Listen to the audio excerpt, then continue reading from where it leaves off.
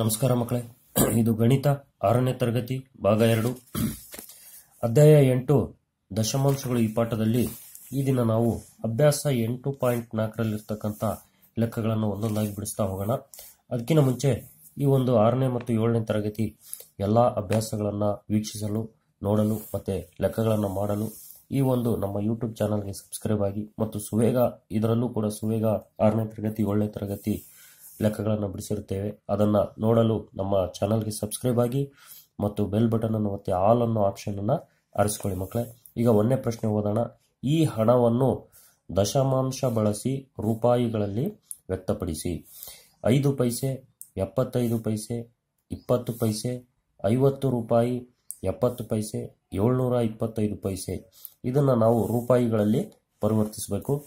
ಒಂದು ರೂಪಾಯಿಗೆ ಒಂದು ರೂಪಾಯಿಗೆ ನೂರು ಪೈಸೆಗಳು. ಹಾಗಾಗಿ ನಾವು ಪೈಸೆಯನ್ನು ರೂಪಾಯಿಯಲ್ಲಿ ಕನ್ವರ್ಟ್ ಮಾಡಬೇಕಾದ್ರೆ ನೂರನ್ನು ನಾವು ಛೇದದಲ್ಲಿ ಹಾಕಬೇಕು. ಈಗ ಐದು ಪೈಸೆ ಅಂದರೆ ನೂರನೇ ಐದು ರೂಪಾಯಿ ಆಗುತ್ತೆ. ಕೆಳಗೆ ನೂರು ಹಾಕ್ತೀವಿ. ನೂರು ನೂರು ಪೈಸೆಗೆ ಐದು ಪೈಸೆ ಅಂತಂದೇಳಿ. ಇದರ ಒಂದು ದಶಮಾಂಶ ರೂಪಾಯಿ ಇಲ್ಲಿ ಎರಡು ಸೊನ್ನೆ ಇರೋದ್ರಿಂದ ಎರಡು ಅಂಕಿ ಬಿಟ್ಟು ಪಾಯಿಂಟ್ ಇಡಬೇಕು. ಐದು ಒಂದು ಅಂಕಿ, ಇನ್ನೊಂದು ಅಂಕಿಗೆ ಸೊನ್ನೆ ಬರ್ಕೋಬೇಕು. ಪಾಯಿಂಟ್. ಈ ಸೊನ್ನೆ ಬಿಡಿ ಸ್ಥಾನ ಖಾಲಿ ಇರಬಾರ್ದು ಅಂತಂದೇಳಿ ಸೊನ್ನೆ ಹಾಕ್ತೀವಿ. ಸೊನ್ನೆ ಪಾಯಿಂಟ್, ಸೊನ್ನೆ ಐದು ರೂಗಳು. ಎಪ್ಪತ್ತೈದು ಪೈಸೆ, ಒಂದು ರೂಪಾಯಿಗೆ ನೂರು ಪೈಸೆ ಆಗಿರೋದ್ರಿಂದ ನೂರನೇ ಎಪ್ಪತ್ತೈದು ರೂಪಾಯಿ ಆಗುತ್ತೆ. ಇಲ್ಲಿ ಎರಡು ಅಂಕಿ ಬಿಟ್ಟು ಪಾಯಿಂಟ್ ಇಡಬೇಕು. ಸೊನ್ನೆ ಪಾಯಿಂಟ್, ಎರಡು ಐದು ರೂಗಳು. ಇಪ್ಪತ್ತು ಪೈಸೆಗೆ ನೂರನೇ ಇಪ್ಪತ್ತು ರೂಪಾಯಿ ಆಗುತ್ತೆ. ಎರಡು ಸೊನ್ನೆ ಇರೋದ್ರಿಂದ ಎರಡು ಅಂಕಿ ಬಿಟ್ಟು ಪಾಯಿಂಟ್ ಇಡಬೇಕು. ಎರಡು ಅಂಕಿ ಸೊನ್ನೆ ಎರಡು ಎರಡು ಅಂಕಿ ಬಿಟ್ಟು ಪಾಯಿಂಟ್ ಇಟ್ಟಾಗ ಸೊನ್ನೆ ಪಾಯಿಂಟ್ ಎರಡು ಸೊನ್ನೆ ರೂಗಳು. ಐವತ್ತು ರೂಪಾಯಿ. ಇದಾಗಲೇ ರೂಪಾಯಿನಲ್ಲಿದೆ ಐವತ್ತು. ಹಂಗೆ ಬರೆಯೋಣ. ಎಪ್ಪತ್ತು ಪೈಸೆಯನ್ನ ನಾವು ರೂಪಾಯಿನಲ್ಲಿ ಬರೀಬೇಕಂದ್ರೆ ನೂರನೇ ಎಪ್ಪತ್ತು ರೂಪಾಯಿ ಆಗುತ್ತೆ. ಇಲ್ಲಿ ಐವತ್ತು ಅದೇ ರೀತಿ ಬರೆದು ಪಾಯಿಂಟ್ ಏಳು ಸೊನ್ನೆ ಎರಡು ಅಂಕಿ ಬಿಟ್ಟು ಪಾಯಿಂಟ್ ಹೇಳಬೇಕು. ಐವತ್ತು ಪಾಯಿಂಟ್ ಏಳು ಸೊನ್ನೆ ರೂಗಳು. ಏಳ್ನೂರ ಎಪ್ಪತ್ತೈದು ಪೈಸೆಗೆ ನೂರನೇ ಏಳ್ನೂರ ಎಪ್ಪತ್ತೈದು. ಇಲ್ಲಿ ಎರಡು ಅಂಕಿ ಬಿಟ್ ಪಾಯಿಂಟ್ ಇಡಬೇಕು. ಒಂದು, ಎರಡು ಎರಡು ಅಂಕಿ ಬಿಟ್ ಪಾಯಿಂಟ್ ಇಟ್ವಿ. ಏಳು ಪಾಯಿಂಟ್ ಎರಡು ಐದು ರೂಗಳು. ಎರಡನೇ ಮುಖ್ಯ ಪ್ರಶ್ನೆ ಓದೋಣ. ಮೀಟರ್ಗಳಲ್ಲಿ ಬರೆಯಿರಿ. ದಶಮಾಂಶ ರೂಪದಲ್ಲಿ ಹದಿನೈದು ಸೆಂಟಿಮೀಟರ್, ಆರು ಸೆಂಟಿಮೀಟರ್, ಎರಡು ಮೀಟರ್, ನಲವತ್ತೈದು ಸೆಂಟಿಮೀಟರ್, ಒಂಬತ್ತು ಮೀಟರ್, ಏಳು ಸೆಂಟಿಮೀಟರ್, ನಾನ್ನೂರ ಹತ್ತೊಂಬತ್ತು ಸೆಂಟಿಮೀಟರ್. ಈಗ ಒಂದು ಮೀಟರ್ಗೆ ನೂರು ಸೆಂಟಿಮೀಟರ್. ಹಾಗಾಗಿ ನಾವು ಸೆಂಟಿಮೀಟರ್ನಲ್ಲಿರೋದನ್ನ ಮೀಟರ್ನಲ್ಲಿ ಬರಿಬೇಕಂದ್ರೆ ನೂರರಿಂದ ನಾವು ಭಾಗಿಸ್ಬೇಕಾಗುತ್ತೆ. ಛೇದದಲ್ಲಿ ನೂರು ಬರಿಬೇಕು. ಅವಾಗ ಸುಲಭವಾಗಿ ನಾವು ಎರಡು ಅಂಕಿ ಬಿಟ್ಟು ಪಾಯಿಂಟ್ ಇಡ್ಬೋದು. ಸೊನ್ನೆ ಪಾಯಿಂಟ್ ಒಂದು ಐದು ಮೀಟರ್. ಆರು ಸೆಂಟಿಮೀಟರ್ಗೆ ಎರಡು ಅಂಕಿ ಬಿಟ್ಟು ಪಾಯಿಂಟ್ ಇಡಬೇಕು. ಆರು ಒಂದೇ ಅಂಕಿ ಇದೆ. ಇನ್ನೊಂದು ಸೊನ್ನೆ ಬರ್ಕೊಂಡು ಸೊನ್ನೆ ಪಾಯಿಂಟ್ ಸೊನ್ನೆ ಆರು ಮೀಟರ್.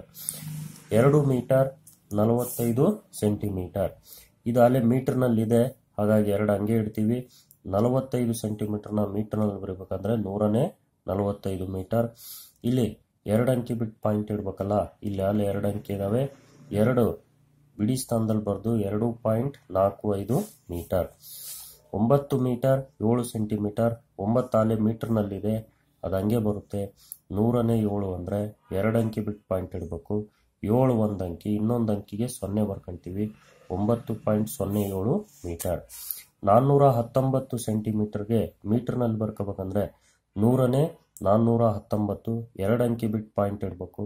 ಹಾಗಾಗಿ ಇಲ್ಲಿ ಪಾಯಿಂಟ್ ಬರುತ್ತೆ ನಾಲ್ಕು ಪಾಯಿಂಟ್ ಒಂದು ಒಂಬತ್ತು ಮೀಟರ್. ಮೂರನೇ ಮುಖ್ಯ ಪ್ರಶ್ನೆ ಓದೋಣ. ದಶಮಾಂಶ ಬಳಸಿ ಸೆಂಟಿಮೀಟರ್ಗಳಲ್ಲಿ ಬರೆಯಿರಿ. ಇಲ್ಲಿ ಮಿಲಿಮೀಟರ್ನಲ್ಲಿ ಕೊಟ್ಟಿದ್ದಾನೆ ಐದು ಮಿಲಿಮೀಟರ್. ಅರವತ್ತು ಮಿಲಿಮೀಟರ್, ನೂರ ಅರವತ್ನಾಲ್ಕು ಮಿಲಿಮೀಟರ್, ಒಂಬತ್ತು ಸೆಂಟಿಮೀಟರ್, ಎಂಟು ಮಿಲಿಮೀಟರ್ ತೊಂಬತ್ತ್ಮೂರು ಮಿಲಿಮೀಟರ್. ಈಗ ಒಂದು ಸೆಂಟಿಮೀಟರ್ಗೆ ಹತ್ತು ಮಿಲಿಮೀಟರ್ ಆಗಿದೆ ಅಥವಾ ಹತ್ತು ಮಿಲಿಮೀಟರ್ಗೆ ಒಂದು ಸೆಂಟಿಮೀಟರ್ ಆಗಿದೆ. ಹಾಗಾಗಿ ನಾವು ಮಿಲಿಮೀಟರ್ನ ಸೆಂಟಿಮೀಟರ್ನಲ್ಲಿ ಬರೀಬೇಕಂದ್ರೆ ಛೇದದಲ್ಲಿ ಹತ್ತು ಹಾಕಬೇಕು. ಐದು ಮಿಲಿಮೀಟರ್ ಅಂದರೆ ಹತ್ತನೇ ಐದು ಸೆಂಟಿಮೀಟರ್ ಆಗುತ್ತೆ. ಒಂದು ಸೊನ್ನೆ ಇದೆ, ಹಾಗಾಗಿ ಒಂದು ಅಂಕಿ ಬಿಟ್ಟು ಪಾಯಿಂಟ್ ಇಡಬೇಕು. ಐದು ಅನ್ನೋದು ಒಂದು ಅಂಕಿ ಇಲ್ಲಿ ಪಾಯಿಂಟ್ ಇಟ್ವಿ. ಸೊನ್ನೆ ಪಾಯಿಂಟ್ ಐದು ಸೆಂಟಿಮೀಟರ್. ಇದು ಬಿಡಿ ಸ್ಥಾನ ಖಾಲಿ ಇರಬಾರ್ದು ಅಂತ ಸೊನ್ನೆ ಬರಿತೀವಿ. ಅರವತ್ತು ಮಿಲಿಮೀಟರ್ಗೆ ನಾವು ಸೆಂಟಿಮೀಟರ್ನಲ್ಲಿ ಬರೆದ್ರೆ ಹತ್ತನೇ ಅರವತ್ತು ಸೆಂಟಿಮೀಟರ್ ಆಗುತ್ತೆ. ಇಲ್ಲಿ ಒಂದಂಕಿ ಬಿಟ್ಟು ಪಾಯಿಂಟ್ ಇಡಬೇಕು. ಒಂದಂಕಿ ಸೊನ್ನೆಯನ್ನು ಬಿಟ್ಟರೆ ಆರು ಸೆಂಟಿಮೀಟರ್ ಆಗುತ್ತೆ ಇದು. ನೂರ ಅರವತ್ನಾಲ್ಕು ಮಿಲಿಮೀಟರ್ ಅಂದರೆ ಹತ್ತನೇ ನೂರ ಅರವತ್ನಾಲ್ಕು. ಒಂದು ಅಂಕಿ ಬಿಟ್ಟು ಪಾಯಿಂಟ್ ಇಟ್ಟರೆ ಇಲ್ಲಿ ಬರುತ್ತೆ ಹದಿನಾರು ಪಾಯಿಂಟ್ ನಾಲ್ಕು ಸೆಂಟಿಮೀಟರ್. ನೆಕ್ಸ್ಟ್ ಡಿನೇದು ಒಂಬತ್ತು ಸೆಂಟಿಮೀಟರ್ ಆಲೆ ಸೆಂಟಿಮೀಟರ್ನಲ್ಲಿದೆ. ಎಂಟು ಮಿಲಿಮೀಟ್ರಿಗೆ ನಾವು ಸೆಂಟಿಮೀಟ್ರಲ್ಲಿ ಬರೆದ್ರೆ ಹತ್ತನೇ ಎಂಟಾಯಿತು. ಅದನ್ನು ಒಂಬತ್ತು ಪಾಯಿಂಟ್ ಎಂಟು ಸೆಂಟಿಮೀಟರ್. ತೊಂಬತ್ತ್ಮೂರು ಮಿಲಿಮೀಟ್ರನ್ನ ಹತ್ತನೇ ತೊಂಬತ್ತ್ಮೂರು ಸೆಂಟಿಮೀಟರ್ ಆಗುತ್ತೆ. ಇಲ್ಲಿ ಒಂದು ಅಂಕಿ ಬಿಟ್ಟು ಪಾಯಿಂಟ್ ಇಟ್ಟರೆ ಒಂಬತ್ತು ಪಾಯಿಂಟ್ ಮೂರು ಸೆಂಟಿಮೀಟರ್. ಈಗ ನಾಲ್ಕನೇ ಮುಖ್ಯ ಪ್ರಶ್ನೆಯನ್ನು ಓದೋಣ. ದಶಮಾಂಶ ಬಳಸಿ ಕಿಲೋಮೀಟರ್ಗಳಲ್ಲಿ ಬರೆಯಿರಿ. ಇಲ್ಲಿ ಮೀಟರ್ನಲ್ಲಿ ಕೊಟ್ಟಿದ್ದಾನೆ. ಎಂಟು ಮೀಟರ್ ಎಂಬತ್ತೆಂಟು ಮೀಟರ್ ಎಂಟು ಸಾವಿರದ ಎಂಟುನೂರ ಎಂಬತ್ತೆಂಟು ಮೀಟರ್ ಎಪ್ಪತ್ತು ಕಿಲೋಮೀಟರ್ ಐದು ಮೀಟರ್ ಈಗ ಕಿಲೋಮೀಟರ್ ಅಂದರೆ ಒಂದು ಕಿಲೋಮೀಟರ್ಗೆ ಸಾವಿರ ಮೀಟರ್ಗಳು ಹಾಗಾಗಿ ನಾವು ಮೀಟರನ್ನು ಕಿಲೋಮೀಟರ್ನಲ್ಲಿ ಬರೀಬೇಕಾದಾಗ ಸಾವಿರದಿಂದ ನಾವು ಭಾಗಿಸಬೇಕು.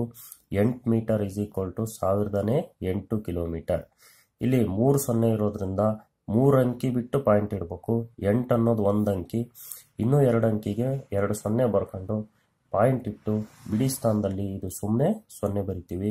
ಇಲ್ಲಿ ಬರಲಿಲ್ಲ ಅಂದ್ರೂ ನಡೀತದೆ. ಸೊನ್ನೆ ಪಾಯಿಂಟ್ ಸೊನ್ನೆ ಸೊನ್ನೆ ಎಂಟು ಕಿಲೋಮೀಟರ್ಗಳು.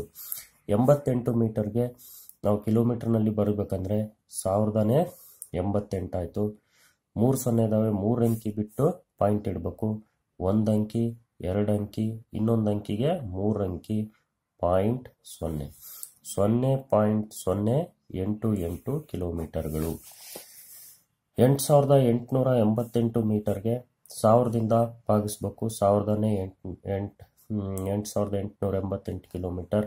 ಮೂರು ಅಂಕಿ ಬಿಟ್ಟು ಪಾಯಿಂಟ್ ಇಡಬೇಕು. ನಾವು ಇವು ಒಂದು, ಎರಡು, ಮೂರು ಅಂಕಿ ಬಿಟ್ಟು ಪಾಯಿಂಟ್ ಇಟ್ವಿ. ಎಂಟು ಪಾಯಿಂಟ್ ಎಂಟು ಎಂಟು ಎಂಟು ಕಿಲೋಮೀಟರ್ಗಳು. ಎಪ್ಪತ್ತು ಕಿಲೋಮೀಟರ್ ಇದಾಲೆ ಕಿಲೋಮೀಟ್ರ್ನಲ್ಲಿದೆ. ಇದು ಹಂಗೆ ಬರಿತೀವಿ. ಐದು ಮೀಟರ್ಗೆ ನಾವು ಸಾವಿರದಿಂದ ಭಾಗಿಸೋಣ. ಸಾವಿರದನೇ ಐದು.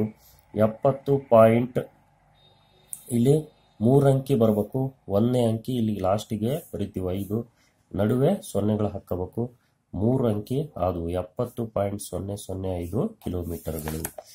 ನೆಕ್ಸ್ಟ್ ಐದನೇ ಮುಖ್ಯ ಪ್ರಶ್ನೆ, ದಶಮಾಂಶ ಬಳಸಿ ಕಿಲೋಗ್ರಾಂಗಳಲ್ಲಿ ಬರೆಯಿರಿ. ಇಲ್ಲಿ ಗ್ರಾಮ್ನಲ್ಲಿ ಕೊಟ್ಟಿದ್ದಾನೆ ಎರಡು ಗ್ರಾಮ್ ನೂರು ಗ್ರಾಮ್ ಮೂರು ಸಾವಿರದ ಏಳ್ನೂರ ಐವತ್ತು ಗ್ರಾಮ್ ಐದು ಕಿಲೋಗ್ರಾಮ್ ಎಂಟು ಗ್ರಾಮ್ ಇಪ್ಪತ್ತಾರು ಕಿಲೋಗ್ರಾಮ್ ಐವತ್ತು ಗ್ರಾಮ್ ಇದನ್ನು ನಾವು ಒಂದು ಕಿಲೋಗ್ರಾಮ್ಗೆ ಎಷ್ಟು ಗ್ರಾಮ್ ಸಾವಿರ ಗ್ರಾಮ್ ಈಗ ಗ್ರಾಮಿಂದ ಕಿಲೋಗ್ರಾಮ್ಗೆ ಪರಿವರ್ತನೆ ಮಾಡಬೇಕಂದ್ರೆ ಸಾವಿರದಿಂದ ಭಾಗಿಸ್ಬೇಕು. ಎರಡು ಗ್ರಾಮ್ ಅಂದರೆ ಸಾವಿರದನೇ ಎರಡು. ಸಾವಿರದಲ್ಲಿ ಮೂರು ಸೊನ್ನೆ ಇದ್ದಾವೆ ಹಾಗಾಗಿ ಮೂರು ಅಂಕಿ ಬಿಟ್ಟು ಪಾಯಿಂಟ್ ಇಡಬೇಕು. ಸೊನ್ನೆ ಪಾಯಿಂಟ್ ಸೊನ್ನೆ ಸೊನ್ನೆ ಎರಡು ಕಿಲೋಗ್ರಾಮ್ ನೂರು ಗ್ರಾಮನ್ನು ನಾವು ಕಿಲೋಗ್ರಾಮಲ್ಲಿ ಕಿಲೋಗ್ರಾಮ್ನಲ್ಲಿ ಬರಿಬೇಕಂದ್ರೆ ಸಾವಿರದಿಂದ ಭಾಗಿಸ್ಬೇಕು. ಮೂರು ಸೊನ್ನೆ ಇರೋದ್ರಿಂದ ಮೂರು ಅಂಕಿ ಬಿಟ್ಟು ಪಾಯಿಂಟ್ ಇಡಬೇಕು. ಈ ಮೂರು ಅಂಕಿನೂ ನಾವು ಬಿಡೋಣ. ನೂರು ಅಂದರೆ ನೂರಲ್ಲಿ ಮೂರು ಅಂಕಿ ಇದ್ದಾವೆ ಪಾಯಿಂಟ್ ಇಡೋಣ. ಸೊನ್ನೆ ಪಾಯಿಂಟ್ ಒಂದು, ಸೊನ್ನೆ ಸೊನ್ನೆ. ಈ ಈ ಸೊನ್ನೆಗಳಿಗೆ ಬೆಲೆ ಇಲ್ಲ. ಇದು ಸೊನ್ನೆ ಪಾಯಿಂಟ್ ಒಂದು ಕಿಲೋಗ್ರಾಮ್ ಅಂತ ಹೇಳ್ಬೋದು. ಮೂರು ಮೂರು ಸಾವಿರದ ಏಳ್ನೂರ ಐವತ್ತು ಗ್ರಾಮ್ಗೆ ಸಾವಿರದಿಂದ ಭಾಗಿಸಿದಾಗ ಮೂರು ಅಂಕಿ ಬಿಟ್ಟು ಪಾಯಿಂಟ್ ಇಡಬೇಕು. ಸೊನ್ನೆ, ಐದು, ಏಳು, ಇವು ಮೂರಂಕಿ ಈ ಕಡೆಗೆ ಬಿಟ್ವಿ. ಇಲ್ಲಿ ಪಾಯಿಂಟ್ ಇಟ್ವಿ. ಇನ್ನು ಉಳಿದಿದ್ದೇನು? ಮೂರು. ಬಿಡಿ ಸ್ಥಾನದಲ್ಲಿ ಮೂರು ಪಾಯಿಂಟ್ ಏಳು ಐದು ಸೊನ್ನೆ ಕಿಲೋಗ್ರಾಮ್ ಐದು ಕೆ ಜಿ ಇದಾಲೆ ಕಿಲೋಗ್ರಾಮ್ನಲ್ಲಿದೆ ಐದು ಹಂಗೆ ಬರಿತೀವಿ. ಎಂಟನ್ನ ನಾವು ಕಿಲೋಗ್ರಾಮ್ನಲ್ಲಿ ಬರೆಯೋಕೆಂದರೆ ಸಾವಿರದನೇ ಎಂಟಾಯಿತು. ಮೂರು ಅಂಕಿ ಬಿಡಬೇಕಲ್ಲ, ಎಂಟು ಒಂದು ಅಂಕಿ, ಇನ್ನೊಂದು ಎರಡು ಅಂಕಿಗೆ ಸೊನ್ನೆ ಬರಿಬೇಕು. ಐದು ಪಾಯಿಂಟ್ ಸೊನ್ನೆ ಸೊನ್ನೆ ಎಂಟು ಕಿಲೋಗ್ರಾಮ್ ಇಪ್ಪತ್ತಾರು ಕಿಲೋಗ್ರಾಮ್ ಅಲೆ ಕಿಲೋಗ್ರಾಮ್ನಲ್ಲಿದೆ ಇಪ್ಪತ್ತಾರು ಹಂಗೆ ಬರುತ್ತೆ. ಈಗ ಇನ್ನು ಉಳಿದಿದ್ದ ಐವತ್ತು ಗ್ರಾಮ್ಗೆ ಸಾವಿರದಿಂದ ಭಾಗಿಸಿದಾಗ ಮೂರು ಅಂಕಿ ಬಿಟ್ಟು ಪಾಯಿಂಟ್ ಇಡಬೇಕು. ಇಲ್ಲಿ ಐವತ್ತು ಅಂದರೆ ಎರಡು ಅಂಕಿ ಇದ್ದಾವೆ ಇನ್ನೊಂದು ಅಂಕಿಗೆ ನಾವು ಹಿಂದ್ಗಡೆಗೆ ಸೊನ್ನೆ ಸುತ್ಕೋಬೇಕು. ಇಪ್ಪತ್ತಾರು ಪಾಯಿಂಟ್ ಸೊನ್ನೆ ಐದು ಕಿಲೋಗ್ರಾಮ್ ನೆಕ್ಸ್ಟ್ ಇಲ್ಲಿಗೆ ಮಕ್ಕಳೇ ಅಭ್ಯಾಸ ಎಂಟು ಪಾಯಿಂಟ್ ನಾಲ್ಕು ಎಲ್ಲ ಲೆಕ್ಕಗಳು ಮುಗಿದು ಮಕ್ಕಳೇ ಈ ಒಂದು ನಿಮಗೆ ವಿಡಿಯೋ ಹೇ, ಯಾವ ರೀತಿ ಅನ್ನಿಸ್ತು ನೀವು ಕಾಮೆಂಟ್ ಮಾಡಿ, ಲೈಕ್ ಮಾಡಿ ಮಕ್ಕಳೇ ಮತ್ತು ಈ ಒಂದು ಚಾನಲ್ಗೆ ಹೊಸಬರಾಗಿದ್ದರೆ ಹೊಸಬರಾಗಿದ್ದರೆ ಸಬ್ಸ್ಕ್ರೈಬ್ ಆಗಿ ಮತ್ತು ಬೆಲ್ ಬಟನನ್ನು ಒತ್ತಿ, ಆಲ್ ಅನ್ನೋ ಆಪ್ಷನನ್ನು ಆರಿಸ್ಕೊಳ್ಳಿ ಮಕ್ಕಳೇ